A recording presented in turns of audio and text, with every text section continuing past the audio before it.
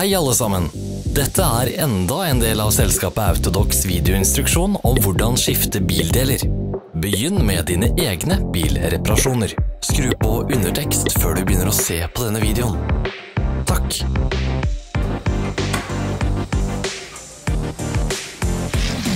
Ikke gå glipp av våre nye interessante videoer.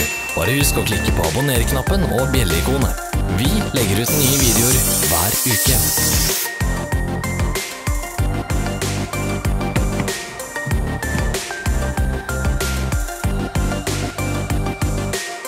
For mer informasjon, sjekk beskrivelsen under videoen.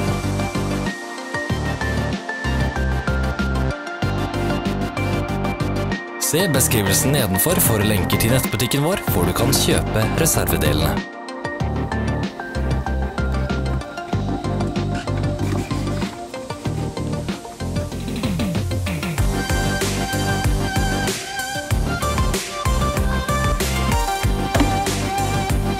Ikke glem å abonnere.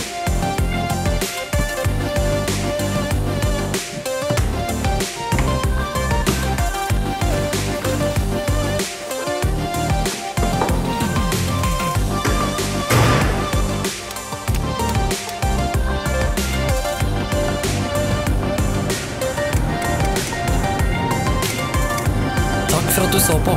Hvis du likte videoen, skriv til oss i kommentarfeltet. Følg oss på sosiale medier. Vi er på Instagram, Facebook og Twitter. Alle linkene er i beskrivelsen.